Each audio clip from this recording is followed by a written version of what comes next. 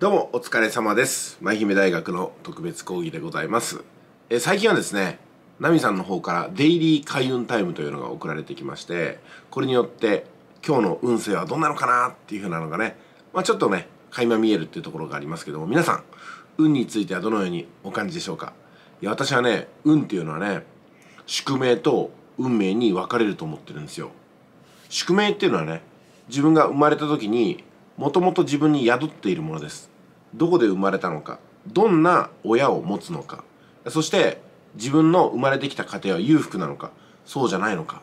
そして生まれたところはどこなのかとかねいつなのかとかねこういった要素ですよね。これっていうのは自分で決めることができません。もうまさに天が与えてくれた自分に宿った命まあそういった道筋まさに宿る運なのかなというところで宿命だと思うんですよ。えそしてね自分の力で切り開いていくもの。これがあまあ宿命に対しては運命なのかなと思うんですよね、うん、だから運っていうのは宿命と運命に分かれて運命っていうのは自分で何とかすることができるんですよ。それも年齢に応じてです。どういうことかっていうと運命っていうのは衣食住のことを表してるんじゃないかなと思うんですよ。まあどんなものを着るのか。ね、清潔なものを着るのか。それともなかなか着替えずに汚いものを着るのかとかね。しわくちゃなものを着るのか。それとも場面場面に合ったような服を着て着させてもらえるのかとかね。衣替えはきちんとしてるのかとかね、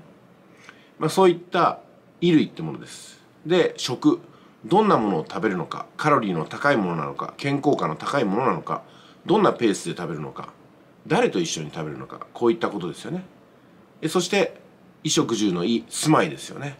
屋根がついてるところなのかついてないところなのか大きな一戸建てなのか田舎なのか都会なのかこういったことです。これっていうのは確かに生まれた時は衣食住自分が生まれた環境によって与えられるものですけども徐々に自分で選ぶことができますよね。まあ例えばね生まれたばかりの赤ちゃんでも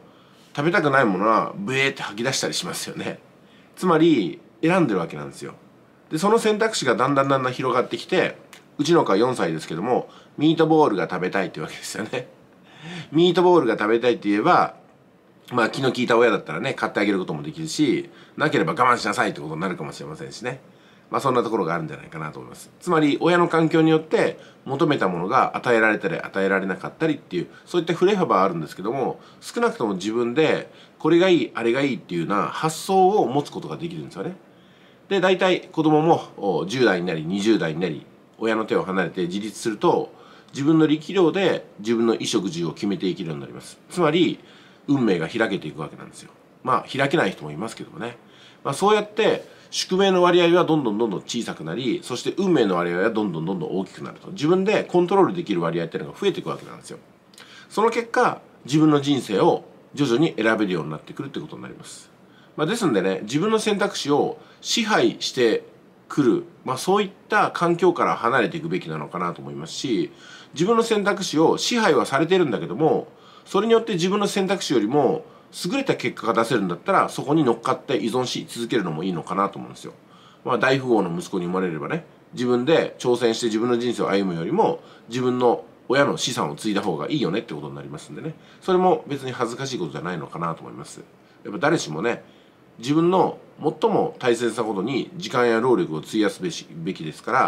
らまさかね食うのが精一杯みたいな環境に自ら身を置いて何を自分の人生をなすことができるのかなってことになっちゃいますんでそっちをわざわざ選ぶってことはまあ美談ではありますけどもなかなかね、えー、限られた人生の中でいい選択肢とは呼べないのかなと思います。ただほとんどの方が恵まれた環境に生まれてくるわけではありませんのでね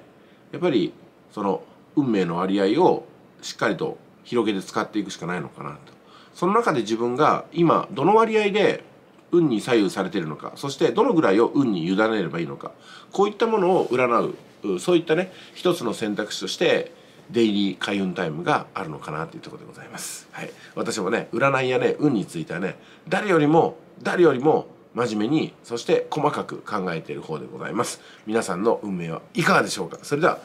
いってらっしゃい。